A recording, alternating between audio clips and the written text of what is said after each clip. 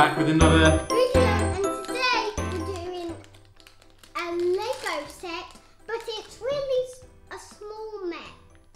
So we've got this Ninjago um, lovely mech that we're going to build here today, and we're going to see how long it takes Seb to put this together and come up with something. Big. Wow, yeah, it won't be big, but it'll be really good. Good.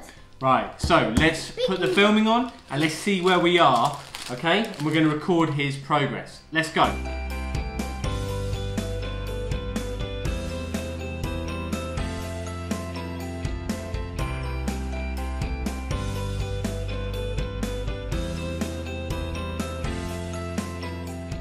What we're building is a samurai mech.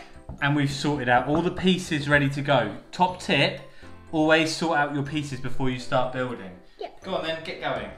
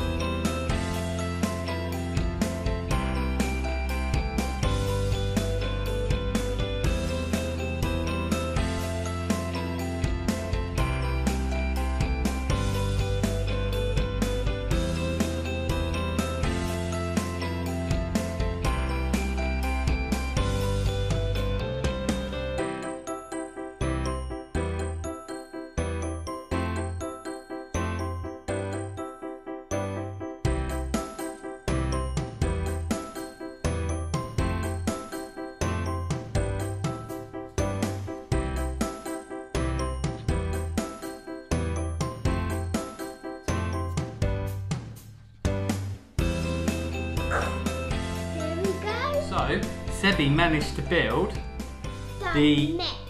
the mech in pretty quick time there. If you have a look at this, that's pretty cool. You did a pretty good job, Sebby. Yeah, this is from Day of the Departed. And what we found is, of course, we've still got these leftover pieces here, so we can build the other part of the toy at any time that we want to, which is quite cool, right? Yeah. I think you did it pretty quickly. I don't know what you guys think. Um, smash a like if you enjoyed the video, and keep on building Ninjago. We love Ninjago, don't we? Yeah, we love it. See you next time. See you next